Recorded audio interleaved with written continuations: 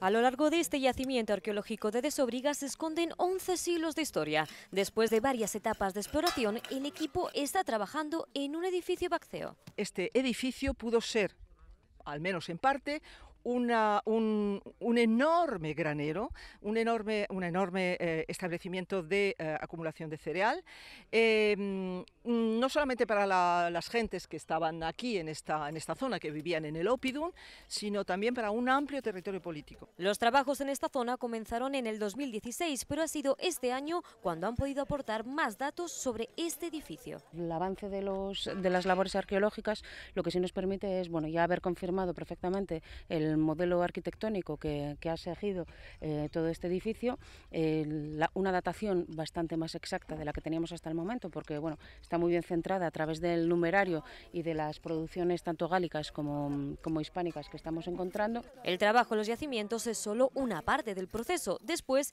llega el turno del equipo de laboratorio. Aquí se está haciendo fotogrametría se está haciendo inventario, se está haciendo limpieza de objetos y se está haciendo eh, restauración, hasta donde nos dejan restaurar, limpieza sobre todo. El equipo arqueológico seguirá trabajando hasta el próximo día 25 para descubrir esta parte inédita de la historia.